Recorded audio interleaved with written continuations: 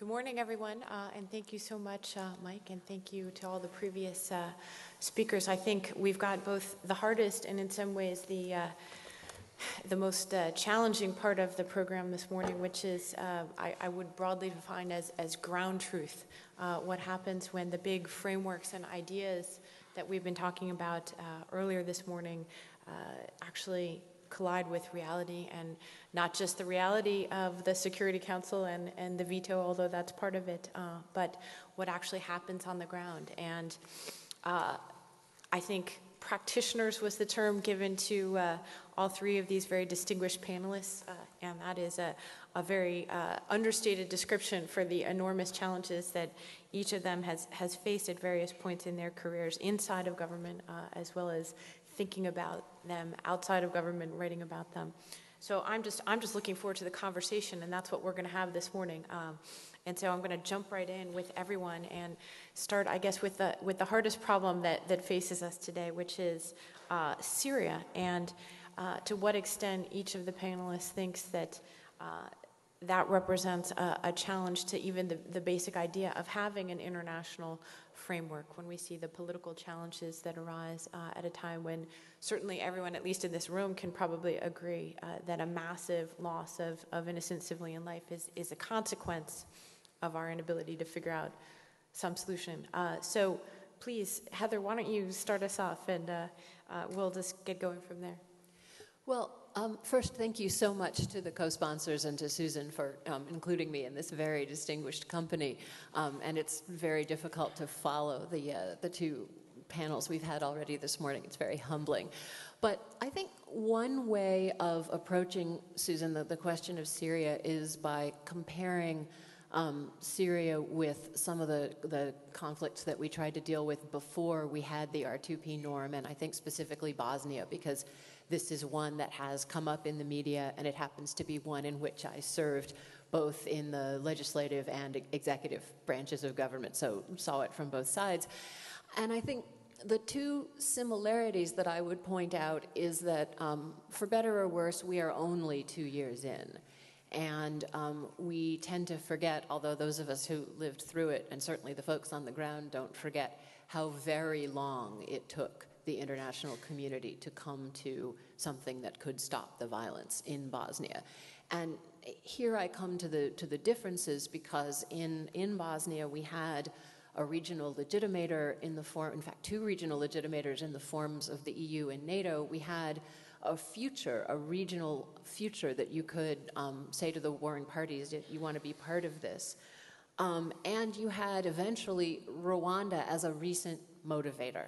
And this I mention because it goes to this question of, of public opinion, that where um, when um, the distinguished earlier speakers did the work of putting the R2P norm together, we all, um, those of us of a certain age and um, global public opinion, were very motivated by the memory of Rwanda.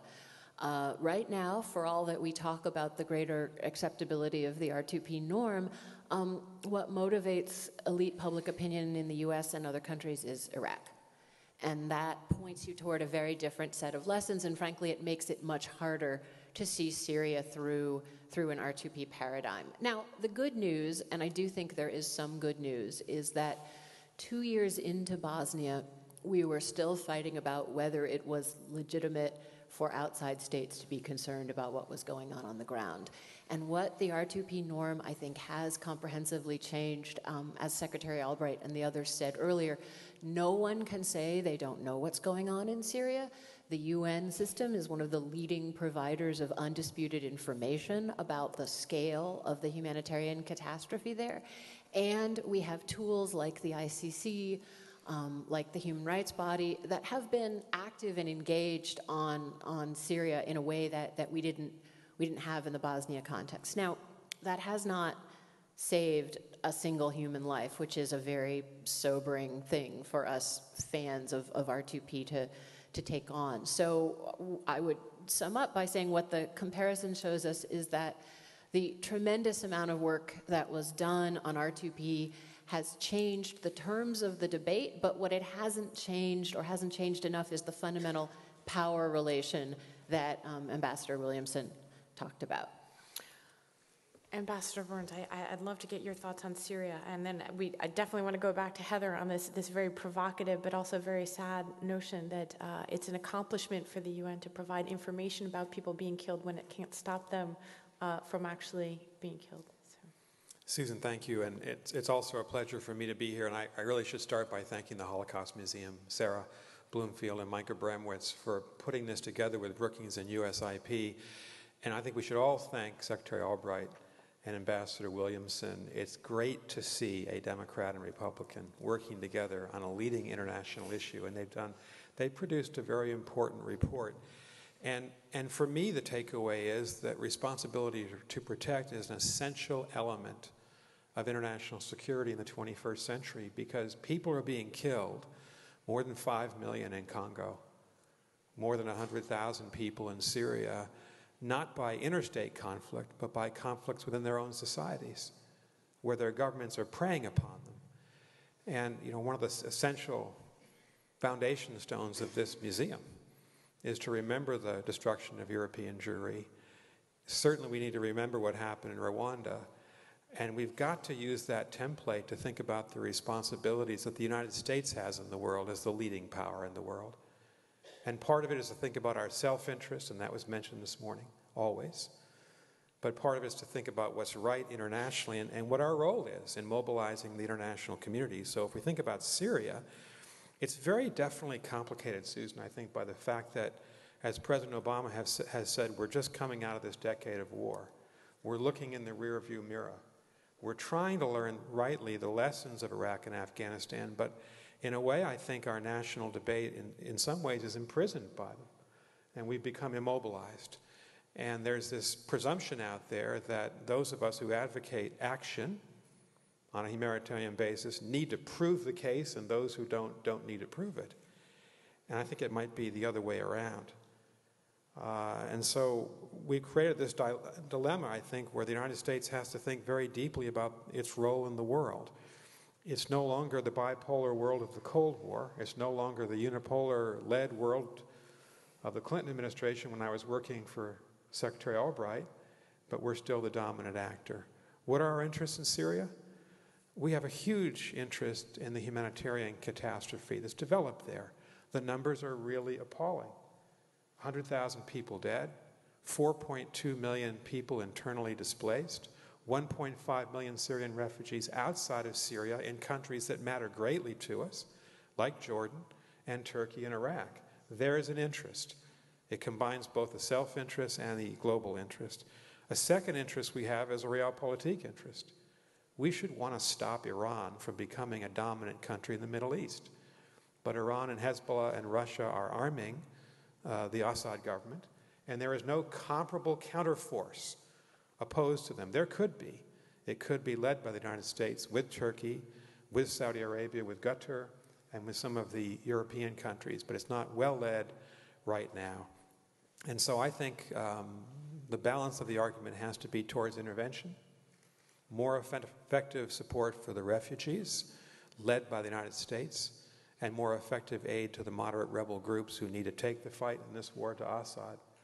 Uh, and if that doesn't happen, I think you'll see, and there are, I think, a couple of articles, both in the Washington Post and New York Times this morning, we're probably looking at a very long war indeed. We should try to want to stop that war. So uh, I am very much with those people who believe that the United States needs to lead more vigorously and needs to do more to try to cope with this terrible war. Mm-hmm. Mike, both uh, Heather and Nick have, have raised the specter of um, the experience of the last decade, not in terms of R2P, but in terms of the Bush administration and its um, uh, the way it waged the war in Iraq and Afghanistan as being the relevant context to Syria, as opposed to a humanitarian framing. Do, do you do you agree with that? And, and more broadly, what, what's your take on Syria? I think that there's a definitely a political context in which all this takes place. And that is a kind of national weariness with intervention. Um, if you look at the most recent Pew uh, polling on this topic, you have 40 year lows in support for various categories of global engagement. Um, that certainly is related to those events. Um, it also, there's also a serious foreign policy debate going on in the Republican Party about these issues, about the value of intervention. Um, and so you, you have a lot of uh, factors at work here. Um, you know, I, I'd point out, um, I want to I want to get to Syria, um, but we were dealing with Sudan, Darfur, at the same time we were dealing with Iraq, and that was a limiting context even then. Um, whether you're when you're thinking about intervening in the middle of another Muslim country, uh, in the middle of, uh, of fighting a, battle in Iraq, so that was a limiting factor even then. So I, don't- I don't want to um, deny that. Um, the- But I guess I agree with the earlier commentary that we've heard all through this event, which is important, um, is that uh, the needs that uh, persecuted minorities in the world face and American national interests are not determined primarily by matters of psychology. They're actually determined by interests and values. Um, and uh, Syria is a case where we often talk about a conflict between interests and values, and it really does, I don't think it exists in this case. Um, when we were dealing with Darfur, uh, terrible humanitarian crisis, but instability in Darfur meant instability in Chad. Um, instability in Syria means instability in Lebanon, Jordan, Turkey, um, along the Israeli border. And Syria is a proxy, increasingly just a puppet of Iranian influence, having been supported by that influence. And so I, I think we've got a, uh, you know, those, you've got a real confluence of those things here. But I want to be sympathetic with the administration on this, having, lived through some of it. And I think that's one of the lessons of formers when we approach these things is that they're not easy. Um, is that uh, the application of the responsibility to protect in the context of an active two-sided civil war is not an easy thing, um, particularly when neither side is kind of pure in this, in this conflict. Um, and that, I, I think, is a, uh, you know, a context that we need to take um, seriously. Um, in general, I would- I would just point out more broadly that when you face the choice between war and allowing impunity, the focus needs to be on producing better choices than this. Um, that's one of the disappointing aspects for me in the Syrian context, is that this began as a peaceful protest. Um, in which it might have been possible to take a more active role. But even there, I would just point out, because I don't want to be too harshly judgmental on this, that it's hard enough to take action when there are real atrocities. It's, it's very difficult to take action when there are prospective atrocities down the road. Um, you know, that, that is a, uh, something that requires a lot of leadership and foresight, um, which, which are, are not always easy to, uh, to show in a situation like this. And there is a tension at the heart of some of these issues between the understandable desire to use force as a last resort and the desire to take early preventive action. Okay? Um, you know, you, sometimes early interventions uh, can avoid terrible consequences down the road, even avoid um, cycles of conflict and revenge. One of my fears in Syria now is even the triumph of the rebels would result in terrible revenge. Um, so early action can, uh, can undermine some of those dynamics. Um, but it's, it's, it's a very difficult thing to do when the threats are prospective. Hey, Ambassador Burns, let's go back to this question of um, what's in the toolkit for someone sitting in the White House at the senior job in the State Department uh, as this has played out. So you saw this during the Balkan War. Um, You're familiar with the Bush era debates uh, and that balance between also what, what's a military uh, tool in the toolkit, what are diplomatic tools? Does it help or not to think of uh, something like R2P as a, as a legal uh, resource in, in a situation like that? Or ultimately, is it really about politics? Like, give us a sense of, of the mix as you're considering uh, what to do when a situation like Syria breaks out.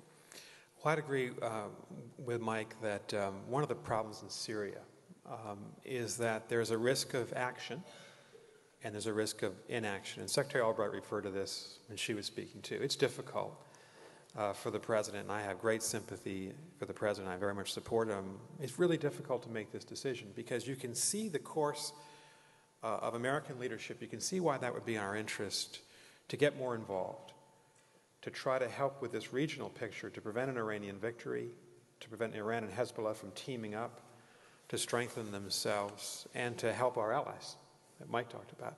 But you can also see that um, I think you also have to see uh, the, the, risks of, um, of inaction as well. If you don't act, you probably see that victory by the Iranians, you see further su- suffering by the civilians.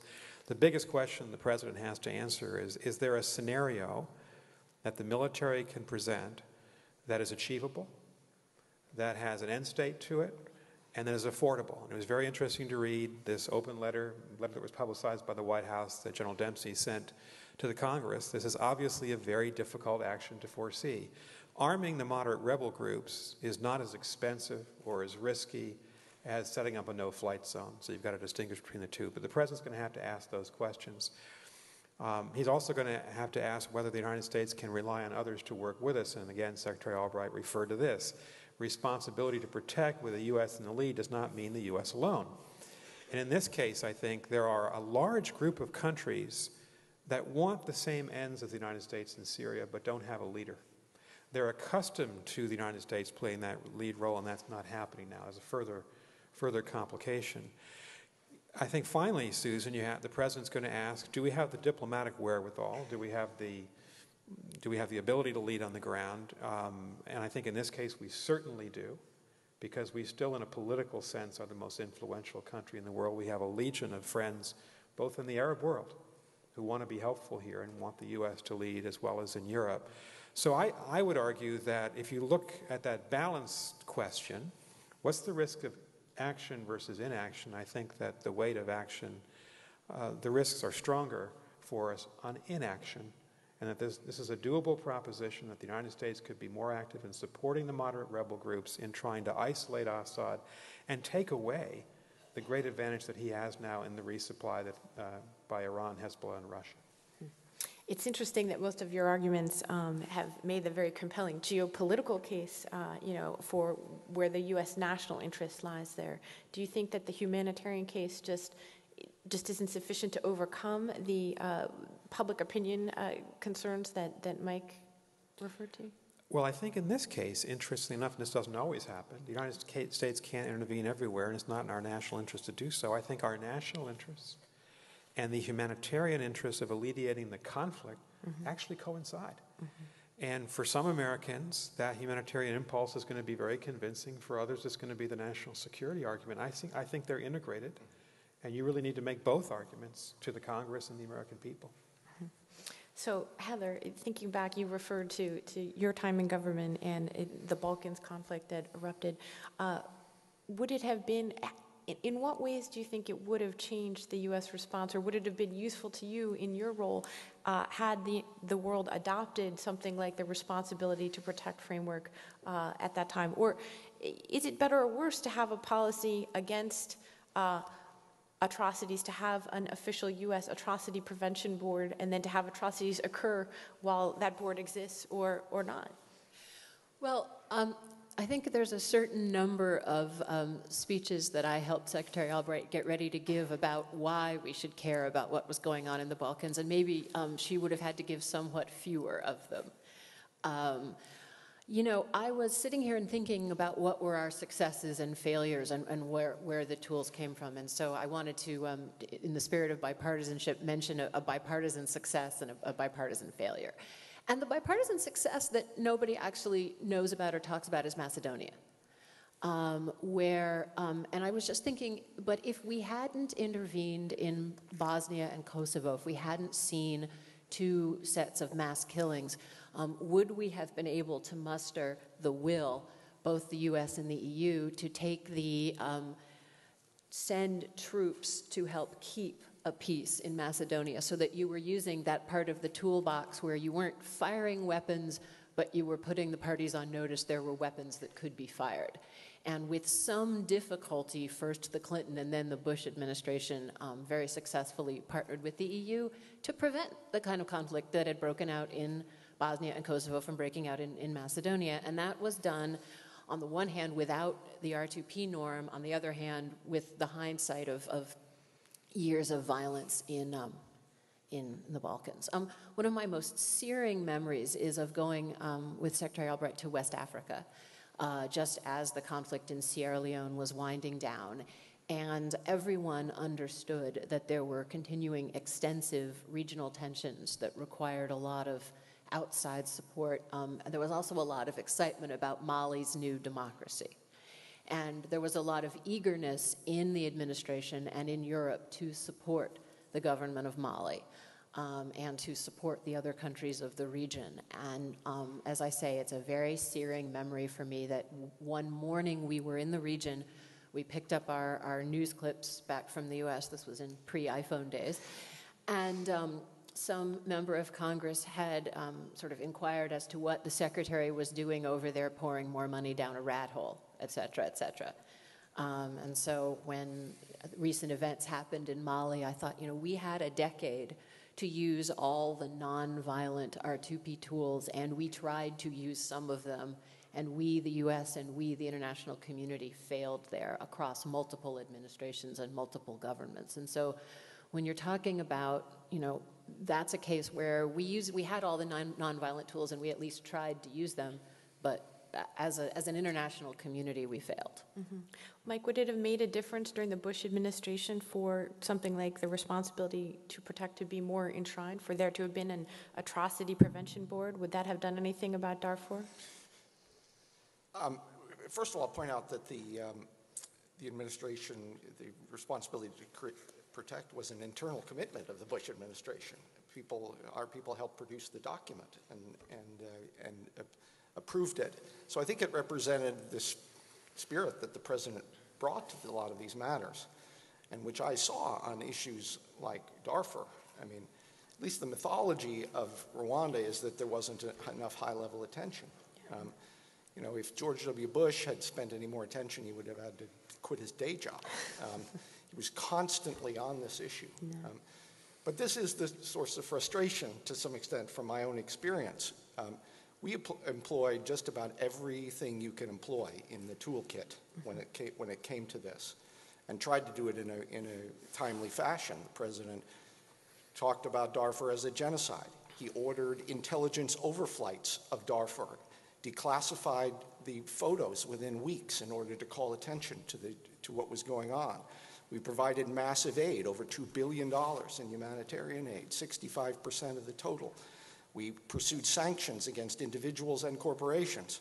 We worked with regional organizations, equipping and moving AU forces. We, uh, the president, I heard him on the phone trying to get NATO involved, and Chirac and others refused to get involved in, in, in the matter. We gave tacit support to the ICC, at one point threatening to veto uh, an attempt to undermine the indictment against, uh, against Bashir. Um, we sponsored the peace process, tried to work, uh, you know, the Darfur rebels. I was there in, in Nairobi when we were trying to make them more presentable in, this, in these negotiations, which was a difficult task, kind of a motley crew. Um, the result was a humanitarian achievement. A lot of lives were saved um, because of massive levels of aid, but very, very little progress on the security side, and really these events went forward with, with impunity. Um, it points to the ultimate problem here, which I think, as, at least in my limited experience, you have to take seriously. And that it's that a sovereign state dedicated to destroying a portion of its people with the support of China and Russia and the Security Council and the cover of Arab solidarity and the Arab League is a very difficult thing to deal with. Um, you know, Bashir, uh, by the time I met him in 2005, when Bob Zoellick and I were in, in, in Khartoum, um, he felt almost no pressure the, because he was shielded by a variety of these, uh, of these factors. Um, and we could not, uh, and nothing would have happened in this circumstance, it did happen, without the ability to generate a credible threat of force. And we could not do that for, for the, some of the reasons we've talked about, but also for diplomatic reasons, like the context of the North-South Agreement, which was taking place at just the same time to avoid, you know, to bring a conclusion to a bloody civil war. Um, and also, and I'll point because it's out that it's newsy, um, that uh, the, uh, the military, the Department of Defense, was one of the largest, they were not a neutral actor in this. They were one of the most vigorous opponents of any action that related to humanitarian issues in Darfur. And uh, as you're seeing in Syria with the testimony uh, or the information that we, we see today, um, to the point where I had the experience in, in, and I won't go into details, but to the point of near insubordination when the military would refuse to plan for the possibility of events that the president wanted planning. Um, because they didn't want the, the, the, um, the plan to ever be called upon. Um, and so there's a variety of kind of problems in this about coming up, uh, you know, with a, with a credible uh, uh, threat of force, the Plan B that we talked about in, in, in uh, Darfur and could, could never produce. And that it's hard sometimes when you have dedicated offenders in this to get much progress without that credibility. I, I'm sure we're all thinking of uh, Secretary Albright's uh, uh, famous line when it comes to uh, the military and whether they should uh, be called upon uh, in, in crises like this to, to step up and take action. But I wanted to, to highlight and, and, and ask the others to respond to your point about the UN Security Council, which has sort of come up in many ways. It's, I don't know if that's a, a tool in the toolkit or a negative tool in the toolkit or just a, another weapon that, that trumps the toolkit. Um, but uh, clearly, many conversations, uh, not just about Darfur, but about Syria, come back to the veto in the in the UN Security Council. Do you see that as, as, as basically trumping many of the tools that we've developed? Well, it's the fundamental problem that, that the Obama administration has in Syria is that it doesn't have a capacity to use the power of the Security Council, which can be considerable in this case because Russia and China in the most cynical way, are blocking even a coherent discussion of how to respond to the humanitarian crisis. Not just, you know, whether or not the Security Council should intervene politically or militarily. They don't want to give any credence, any role for the Security Council in Syria because they, they're protecting Assad. Mm-hmm. And so because of that, uh, the administration faces the same challenge that the Clinton administration faced, as Secretary Albright said, in 98, 99 when it became clear that the Russian Federation was going to veto any um, military intervention in Kosovo, despite the fact that Milosevic was just about to annihilate a million Muslims there. The United States was forced, and this is really to the great credit of President Clinton and Secretary Albright, was forced to take up leadership of its own. We used the NATO alliance, it worked very well. A very successful example, as was Bosnia, of American led military interventions to save people in a very difficult situation. So in this case, the United States has to create a coalition of willing Syria of its own. But as I've said before, Susan, I think we have many countries ready for that. And one way to think about this, um, David Miliband, the recently, uh, who has just left British politics, he was British Foreign Secretary in the last uh, Labour government, is now going to take up the presidency of the International Rescue Committee in New York. He gave a really insightful speech 10 days ago at Ditchley, at the annual Ditchley mm-hmm. lecture outside of Oxford, where he essentially said, you know, we have to understand that um, we're at a time when 10 years ago, there was a lot of criticism of the US and UK for intervening, intervening too frequently and too aggressively in the world. Now we're at a point where there's criticism that those two countries and others are not intervening sufficiently. We don't have a big enough sense of our own role. And he said something at the end of the speech which really resonated with me. He said, I prefer, um, I prefer the course of activism to prevent problems rather than passivity in reacting to them. And that's the essential choice that we face in Syria. This problem is so severe in its geopolitical implications and humanitarian as well, it will be with us. The question is do we engage and lead now and hopefully have a chance of ending the Assad regime sooner, or do we wait for that country to tear itself apart? The humanitarian crisis will be greater, and then we perhaps have a bigger problem because, as Mike has said, Lebanon Turkey, Jordan are engulfed by it, and it's Israel's northern border as well. So to me, that's the calculus that the president's got to, the administration has to face. So Heather, it seems like we're having one of those very Washington conversations. It's, you know, there's a, there's a seductive power to the idea of a policy and a toolkit. Uh, you know, that's a wonderful phrase to an American ear. There's a toolkit to deal with atrocity. There's a toolkit to deal with genocide. But really, we're talking about politics, aren't we? So what's your, what's your view of the, the politics here? I, uh, I have been known to ban the phrase toolkit from the, the stuff that we put out at the National Security Network because it is, it is such an, an inside the Beltway construct. And I actually want to talk politics on the global level 1st because the Security Council, um, for better or for worse, um, carries with it a degree of legitimation that nothing else matches. But there are other routes to getting legitimation. Um, you know, we talked about the role that NATO and the EU were able to play in, in um, Bosnia and Kosovo. And the big global political challenge that I see in um, Syria is that we simply don't have a body, a structure, somebody that can give legitimacy to the kind of coalition of the willing that Nick you're talking about.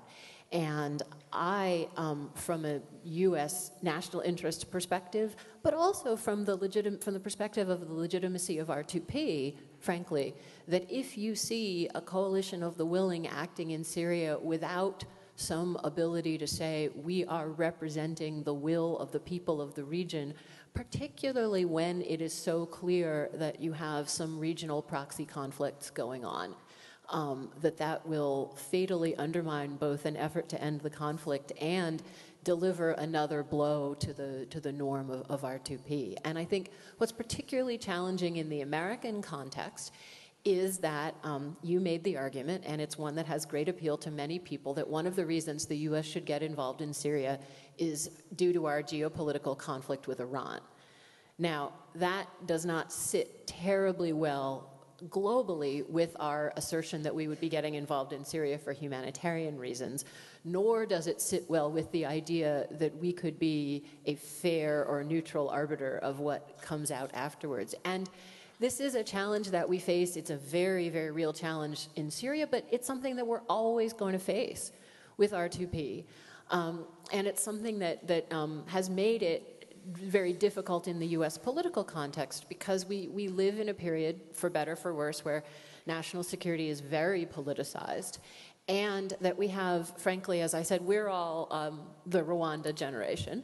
And the generation that has come up after us, um, Susan, everybody that writes for you, everybody that works for me, everybody that work, um, does not see this does not see is not seared by Rwanda the way we were and doesn't necessarily believe that there is such a thing as disinterested humanitarian intervention. And we haven't figured out either to talk to our own elites or to talk globally how to, how to square that circle and say, yeah, we do have an interest with respect to Iran and we have a humanitarian interest, and both of those things are, are on the table. And I see that as a really fundamental political problem for R2P globally.